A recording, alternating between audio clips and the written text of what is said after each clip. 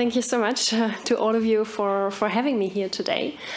Um, I will present, as you said, uh, some findings from a study of the European Migration Network on the integration of migrant women, a study that I had the privilege to lead on behalf of the EMN national contact points.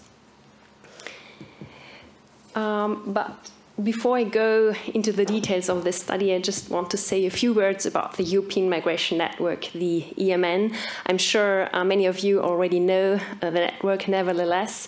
Um, just to explain a little bit, the EMN is a European wide network which is coordinated by the European Commission and it consists of so-called national contact points um, in the EU member states, uh, but without Denmark, and in some uh, observer countries. They are Norway, Georgia, Republic of Moldova, Ukraine, Montenegro, Armenia, and Serbia. And uh, these EMN national contact points, they are actually set up in, different entities in these uh, member states. Uh, in Finland, as you all know, uh, the contact point is with the Finnish Immigration Service, but in Austria, where I come from, the contact point is with the uh, country office of the International Organization for Migration. So, what does the EMN uh, do? Well, um, our main aim is to meet the information needs of the European Commission, of the uh, member states' authorities, and of the wider uh, public on migration and asylum topics.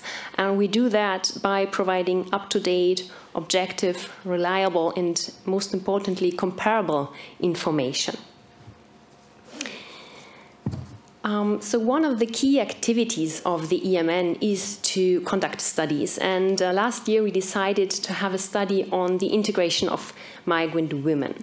What we did is um, we developed a common study template um, that was used by the national contact points to uh, analyze statistics. They looked into national policies and they researched best practice examples uh, from the different member states.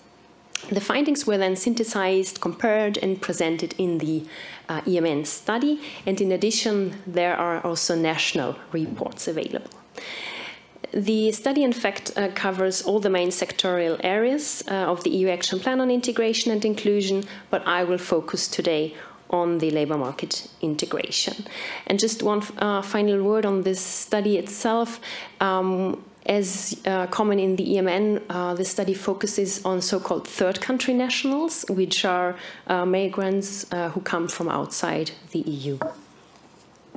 So let me start by presenting a, a few statistics. Here you can see uh, third country nationals as a percentage of total population in the EU27 and Norway, and the proportion of women. The data comes from Eurostat. is It is from 2020. And on average, uh, third country nationals represented around 5% of the population, and slightly more third country nationals uh, were men with 51%. But then some member, stands, member states stand out, uh, for example, because they have a high percentage of third country nationals, such as Estonia and Latvia. These figures, of course, uh, should be read within the historical context uh, where there are minorities from the former Soviet states who either have third country uh, status or uh, in undetermined uh, citizenship status. And then there are other uh, countries who stand out because the percentage of third country nationals is comparatively low. For example, in Slovakia, Romania, and Poland, um, keeping in mind, of course, that this data is from 2020 and thus that not, does not um, count uh, those persons who recently fled uh, the Ukraine after the outbreak of the war in early 2020.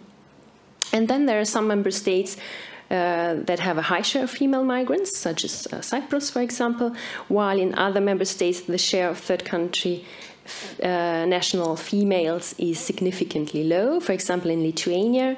And this can be also related to the reasons for migrating. In Lithuania, for example, the large majority of migrants comes for labor purposes. But then, as we will see in the next slide, women are less often labor migrants than men. Women come to the EU for a variety of reasons, and these reasons also differ between the member states. Mm, based on Eurostat data on first residence permits issued, we see that in countries like uh, Poland and Croatia, migrant women come predominantly for employment reasons, while in Ireland they come mainly for educational reasons, and in Austria they come for other reasons, uh, including international protection.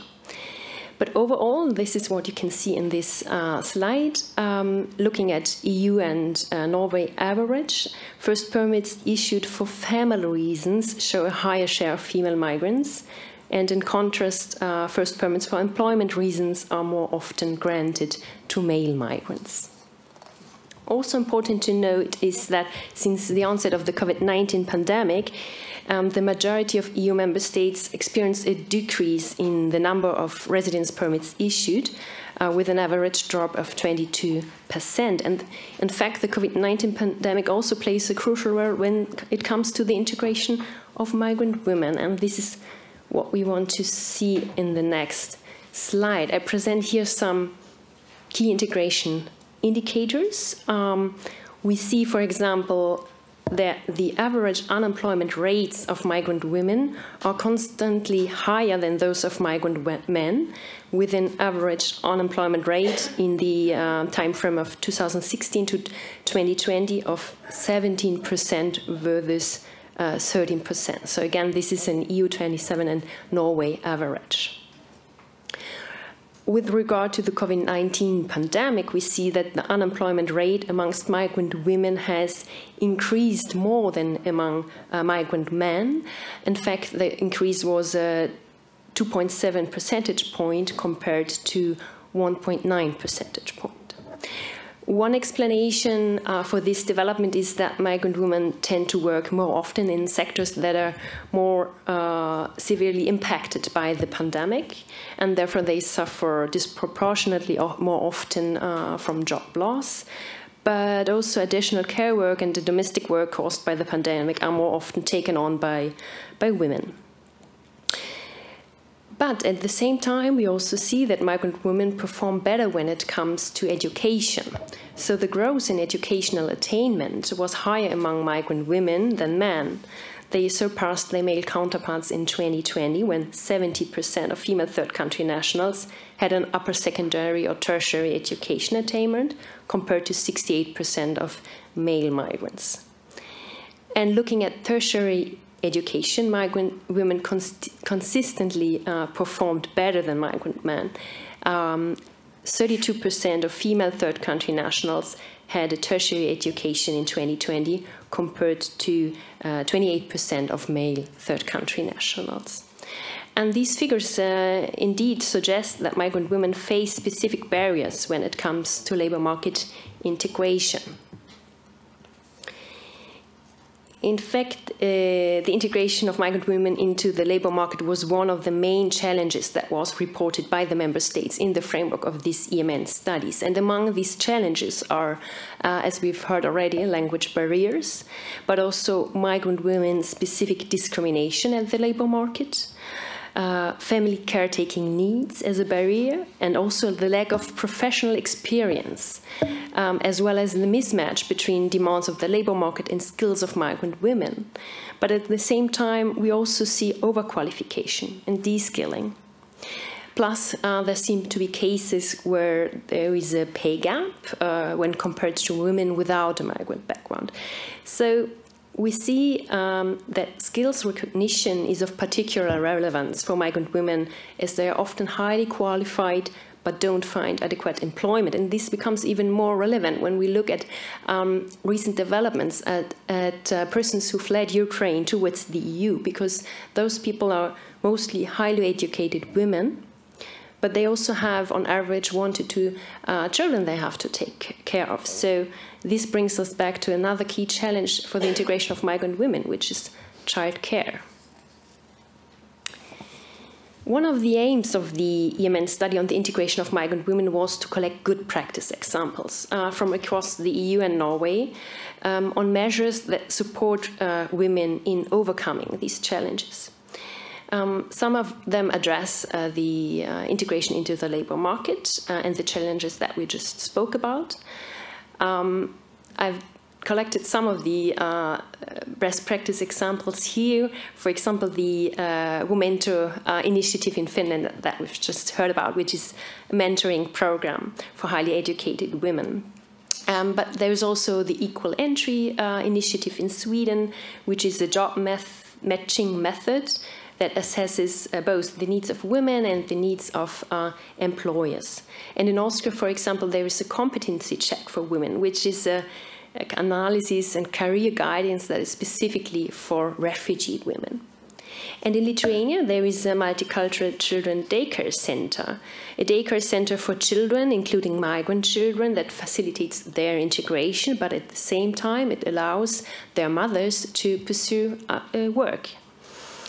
So these and many more uh, good practice examples are uh, in this study and the national reports, but overall, we see that member states put forward a total of uh, 54 good practice examples.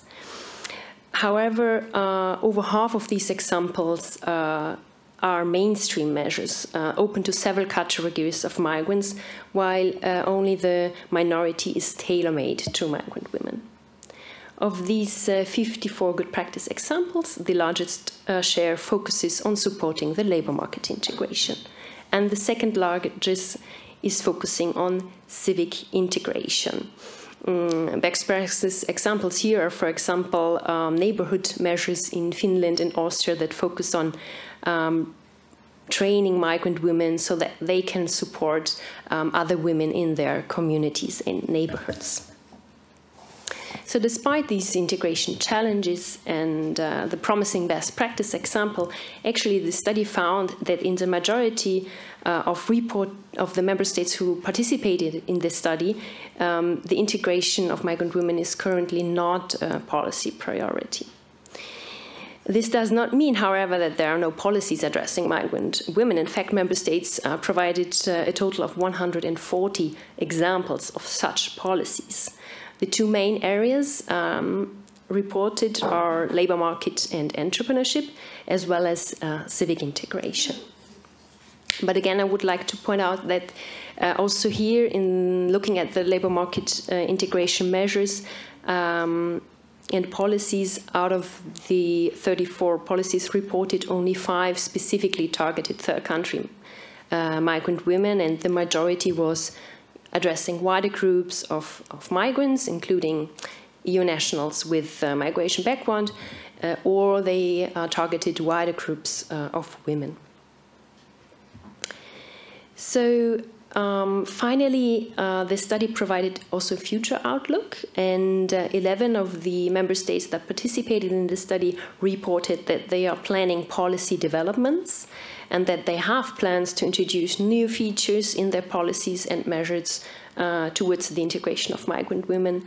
Uh, and this is also in the light of the COVID 19 pandemic and their impact specifically on, on migrant women.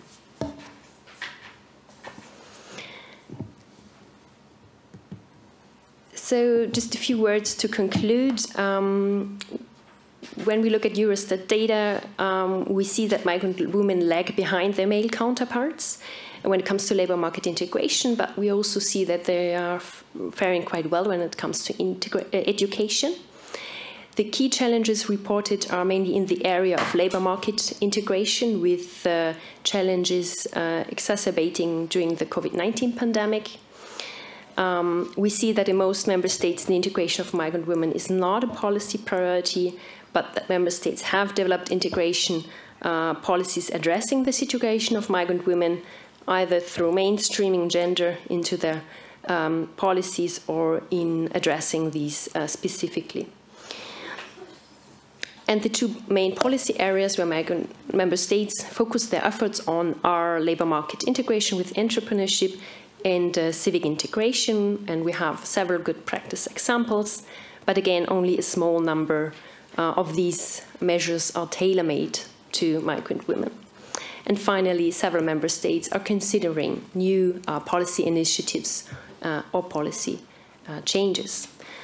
And uh, yeah, with that, I'm already at the end of my presentation. I invite you all to have a look at this study. It's available on the website of the European Commission, and you find there also the national reports, as well as the uh, brand new uh, Finnish report, which has been published today and is also available in, in hard copy. Um, thank you.